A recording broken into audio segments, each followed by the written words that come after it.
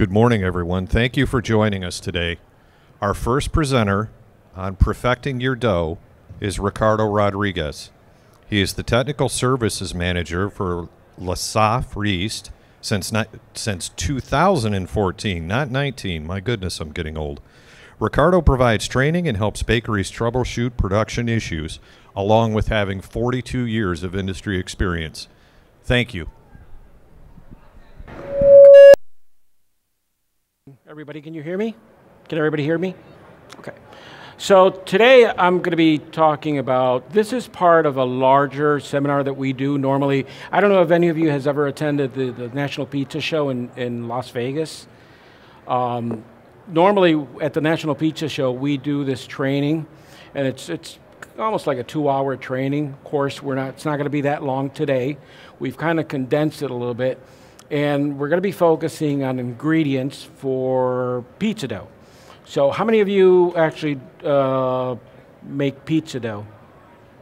You do? Okay. So, hopefully, today um, you'll get some good information to help you with your pizza dough. Um, as you know, baking um, is a little bit more of a science than, than cooking. Um, I'm hopefully today I'm not going to get too sciency on you, but basically what we're going to be doing is going through your basic uh, pizza dough ingredients and kind of give you an idea of what is it that they do, and help you maybe uh, troubleshoot any any issues that you might have. So a little bit about Lesaffre. Um, we are the largest uh, producer of yeast in the world. Um, we've been, uh, we have over 165 years. It's a family owned business. The Lesaffre family actually owns the company. That's where the name comes from. Here in the U.S., um, we are headquartered in Milwaukee, Wisconsin, and we have our, our headquarters are in Milwaukee. We have several baking centers. Uh, we have the largest uh, fresh yeast plant in the world is actually located in Cedar Rapids, Iowa. And we have another plant in Dothan, Alabama that produces some of our specialty uh, cream yeast.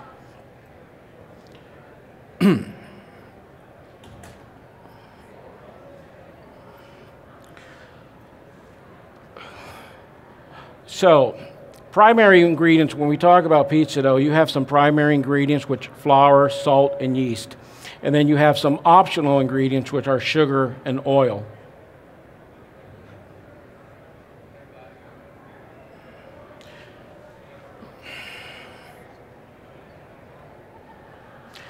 So, when we talk about the first one, which is flour, flour basically provides structure to the dough. It uh, provides extensibility or stretch and it also provides gas retention, and that's important because that's what's going to give you that rise, that volume in, in your pizza dough, depending on what type of pizza dough you guys are producing.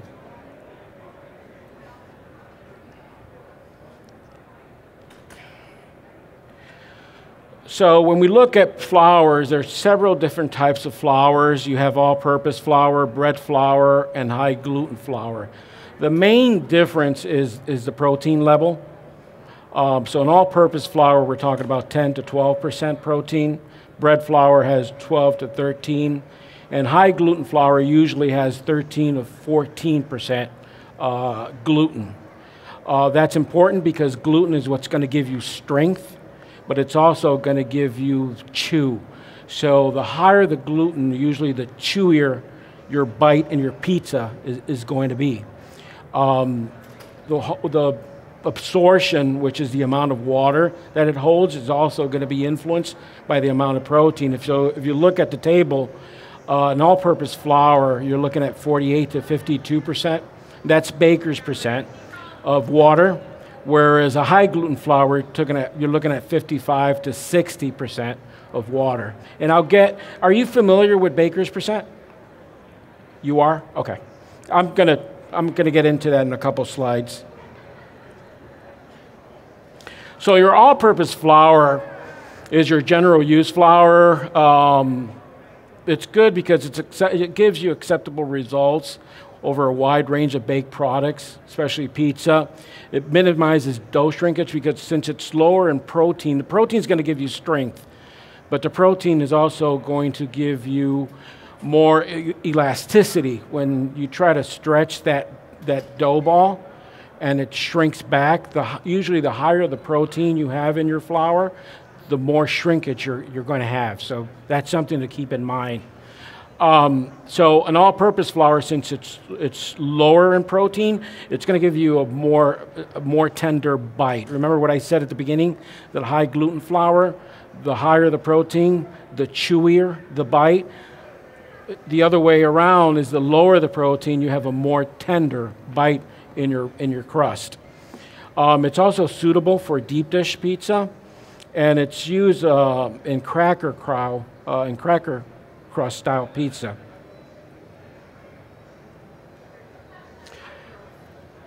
The next one um, is the high gluten flour, which is more tolerant because of the protein. It's more tolerant to mixing, more tolerant to fermentation and, and machining. Um, it develops a crispier crust with a chew, as I mentioned before, and it minimizes soakage of sauce into the crust, preserving the desired crispiness. Um, it's recommended for thin crust pizzas. Bread flour is an excellent go to go in between flour. Um, the benefits are a greater dough tolerance over an all-purpose flour and a softer mouthfeel than a high gluten flour. A good choice for a traditional style pizza, but can be stretched to make a good thin crust as well. Then you have the whole wheat flour. Uh, whole wheat flour, as you know, is milled from 100% of the wheat kernel. Uh, whole wheat flour is considered a whole grain food. Uh, it adds flavor and texture to pizza. Uh, usage level says 20 to 40 of total flour, but you can go as low as 5, 10% of your flour. But you got to be careful because it does reduce, it does reduce your, your dough strength. So what happens with whole wheat flour is the, the particle size tend to be bigger and as you mix they kind of shear the dough the gluten and weaken your structure. So that's something if you are using whole wheat flour that's something to, to keep in mind. Water would be our next ingredient. And the main function of water is hydration. It adds as a solvent so it dissolves all the ingredients. Um, it also is what is a, what controls your, your temperature. So if you want to control your dough temperature, um, water you play around with the with the temperature of your water. We have two baking centers. One is in Milwaukee. The other one is in New Jersey. And when we run doughs, test doughs in our in our labs, we use water. The, the, we play around with the dough temperature um, to control our, our we, we, we, we, control, we play around with the, sorry, with the water temperature to control our final dough temperature. What we've seen for, what works for us, for example, if you're shooting for 78, 82 dough temperature and your finished dough, we temper our water to about 55 degrees. And with the friction that's creating during the mix, that gives us a dough around 78 and 82. As you know, that's important because that's how you control your fermentation as well. And we'll get a little bit into that when we talk about yeast. So typically in, in, in pizza dough, water is used at 45 to 65%, depending on the type of pizza that you're going to be making. Salt. Uh, salt's main purpose is flavor flavor enhancer. I don't know if you've ever forgotten to add salt to a dough. It has tastes like cardboard. Very doesn't taste very good. It proofs very fast. Uh, if you forget, you put your salt because you have another function of salt is to control the rate of fermentation in the yeast.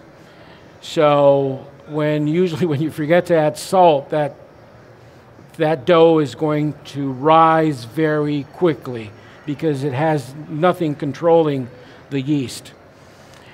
And also, salt has another important function that it strengthens the gluten. Um, again, if you've ever forgotten to add salt to your dough, I don't know if you remember, but it tends to be very sticky. The dough tends to be very sticky because, again, salt helps strengthen the gluten. And typically in, in pizza dough, salt is used at anywhere between 1 to 2%.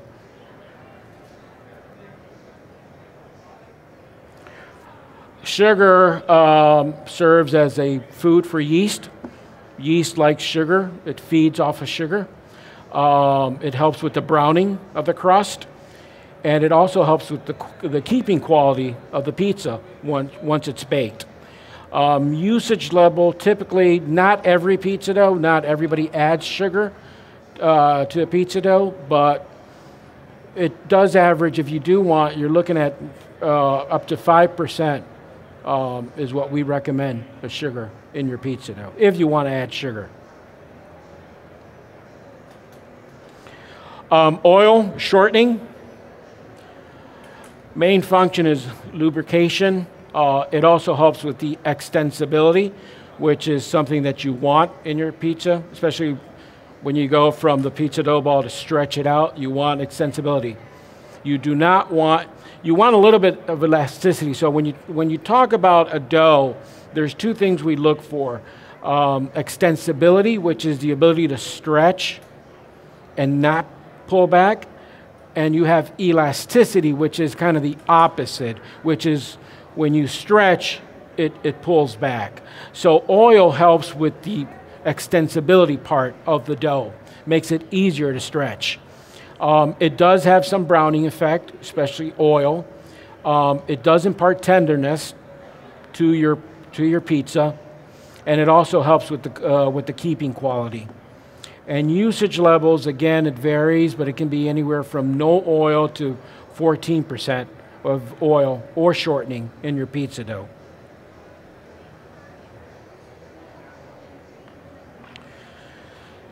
Yeast. So, yeast provides the leavening action. It's what's going to make your pizza dough rise. Um, it also conditions the dough, and it helps develop, uh, develop the flavor and the aroma. Um, it helps with the development of the dough as well. So when you talk about talk when you think about fermented foods, think about things that you like and things that are fermented. Um, think of bread, think of pizza dough, think of spirits, whiskey, vodka, distilled spirits, think of beer. What do they all have in common? They have yeast and they're fermented. So fermentation is what gives you flavor in bread, gives you flavor in pizza, in pizza dough. And usually, the longer the fermentation, the better the flavor.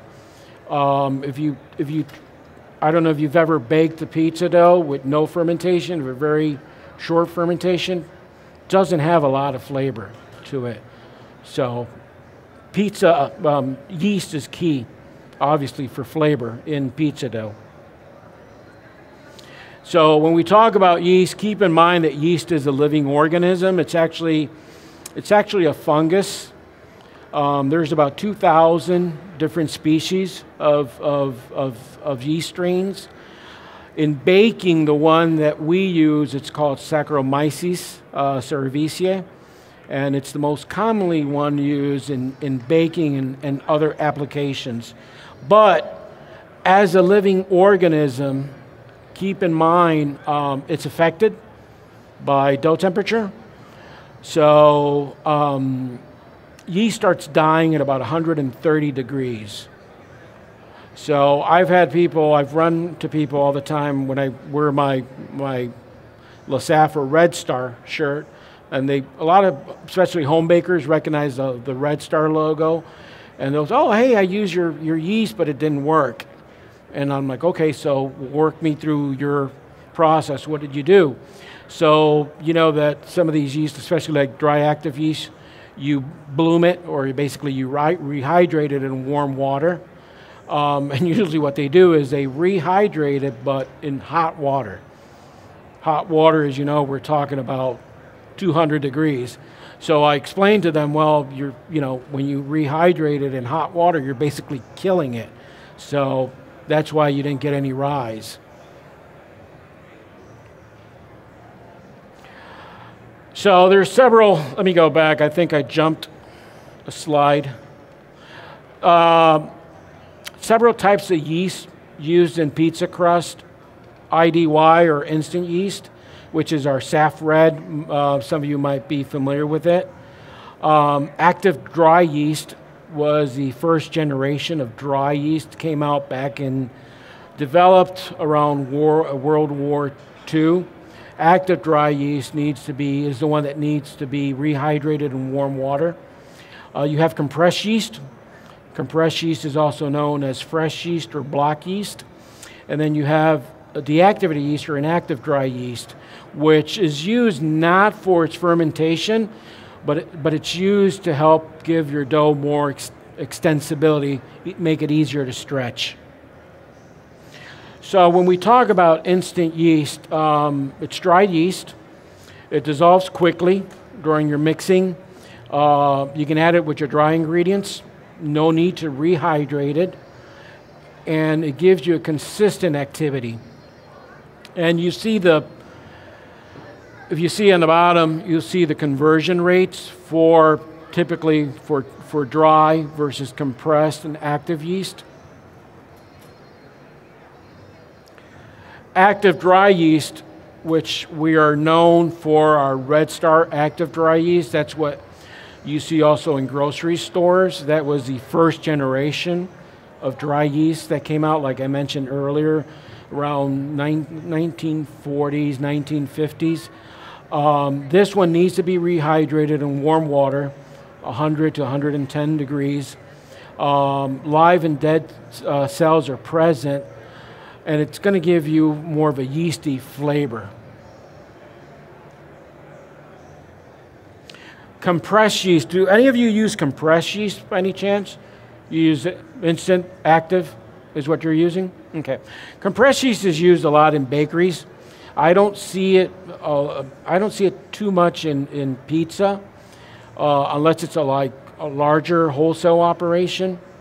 But compressed yeast is also known as wet and fresh yeast. Um, it needs to be uh, stored and refrigerated. Needs to be refrigerated. Uh, shelf life is much uh, shorter than your dry yeast.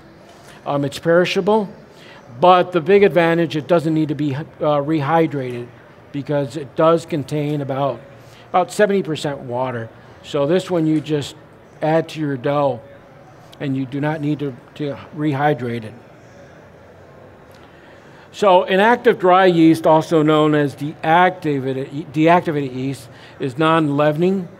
Um, what we do is we take live yeast. We remember, like I said before, when you heat it over 130, yeast starts to die. Well, what we do is we heat it to about 200 degrees and we kill it.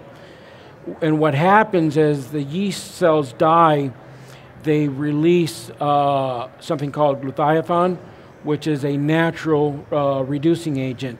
So deactivated yeast, you add a little bit to your dough if you're looking um, to improve the, the extensibility of your dough. If you have a very tight dough, which is difficult to stretch, by adding a little bit of deactivated yeast, you can actually make that dough ball very easy to stretch. And the usage level is between half a percent to, to 1%. So, what affects yeast activity?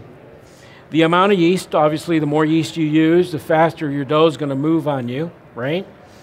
Uh, the yeast strain, this is more for depending on what you're making. Um, if you're making frozen pizza dough balls, um, we would recommend that you do not use dry yeast. We would recommend that you use fresh yeast actually for frozen dough. Um, so the strain is important as well. The temperature, as I mentioned before, a warmer, hotter dough is going to move quicker than a colder dough. Uh, your fermentation time and the amount of sugar and salt in your recipe is also going to influence your rate of fermentation. So typical ranges for your average uh, pizza recipe, we're talking about 100 pounds of flour, between 45 to 60 pounds of, of, of water, one to up to two and a half pounds of salt, um, up to five pounds of sugar, uh, up to 14 pounds of oil, shortening, or a combination of both. Then again, depending on what type of pizza you're, you're, you're making. And yeast, depending on the type of yeast and how long of a fermentation, or if you're retarding your dough in a cooler, um, you're going to be looking at 0.25 to 3% yeast. So everybody, like I said, everybody is familiar with baker's percent? Yes? No? So normally in the baking industry, we use something called baker's percent. When we talk about conventional percent, it's what we call 100%, where if you have a recipe, you know, all the, the addition of all the ingredients is always going to be 100%. If you add them all up, it's always going to be, they're going to be in percentages, but they're always going to add up to 100%. Am I in the right? Oop, sorry.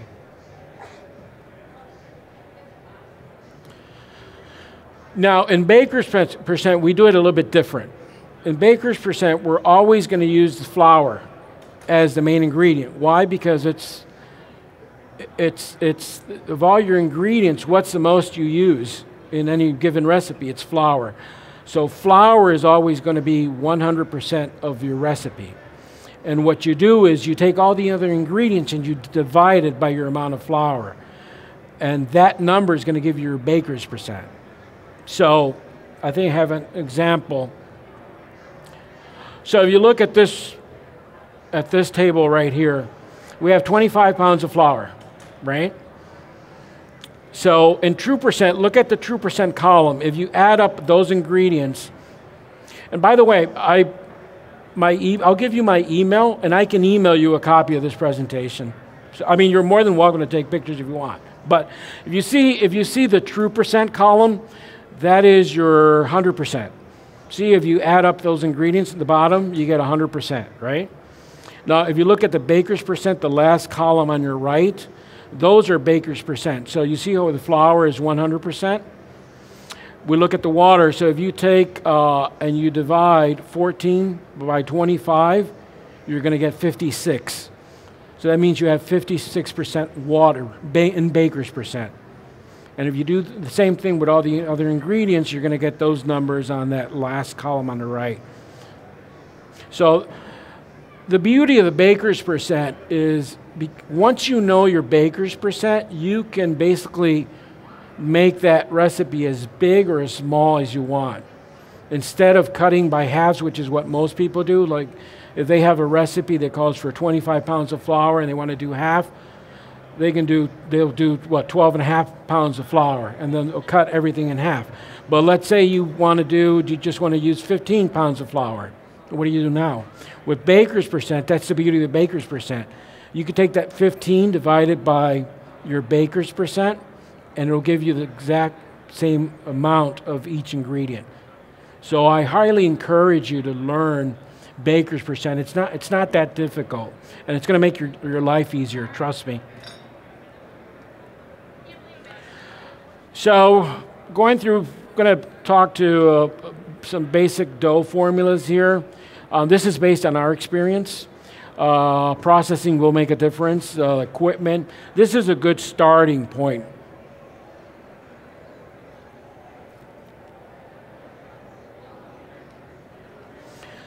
So for a, a New York thin pizza, um, we recommend you go with high gluten flour. And you look at the column, those are some of the ingredients in baker's percent for that specific type of crust. Same thing goes for bread for for um, for a pan pizza, which is the third column, deep dish pizza, and the last column on the on the right is a cracker. We would recommend you go with an all-purpose. Um, and you look at the water. The water is you're only looking at 50% water in a cracker, so it's a very it's a fairly stiff dough. Um, salt is average is about one and a half to two on all of them. Sugar, if you notice on the cracker, tends to be a little bit higher than on a New York thin style pizza. Oil, the, the highest amount is going to be in your deep dish. And instant yeast, um, on your pan pizza and cracker are going to have your highest amount of, of yeast. These are, I mean, basic formulas. If you've ever uh, thought about doing different styles of pizza, this is a good, a good point, a good starting point for some recipes. And for a wheat style pizza, if you've ever done wheat style, wheat, uh, whole wheat pizza, um, this is a nice starting uh, formula. It's got 10 pounds of whole wheat flour, 15 pounds of high gluten. See the water, the water is going to be higher because whole wheat does absorb more water than white wheat, than regular wheat. Um, salt, eight ounces, honey. You can use honey or sugar. Just keep in mind that honey is not as sweet as sugar. Honey's about 80 has about 80% the sweetness of sugar. So if you use honey, you're going to have to use a little bit more to achieve the same sweetness as if you were using sugar. Well, the reason we have sugar, uh, honey in this recipe is because honey does, in our experience, does a better job of masking some of that, that whole wheat flour tends to give your dough a little bit of a, a bitter flavor. So we find that honey does a little better job of masking some of that bitterness that you get from the whole wheat flour.